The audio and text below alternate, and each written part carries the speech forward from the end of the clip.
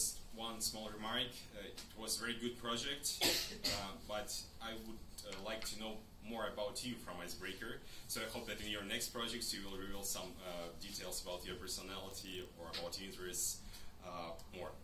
And that's it.